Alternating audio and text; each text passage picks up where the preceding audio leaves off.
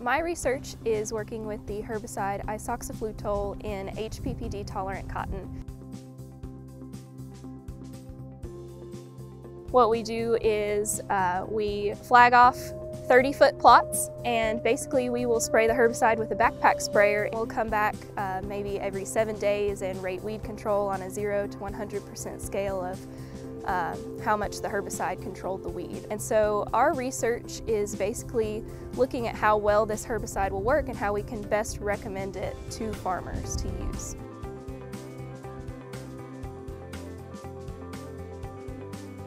It's just a really good opportunity whether it is uh, enhancing your public speaking abilities or you know just be able to convey your research to a broad audience. So it was a great exercise and really a fast-paced competition because three minutes isn't a lot of time.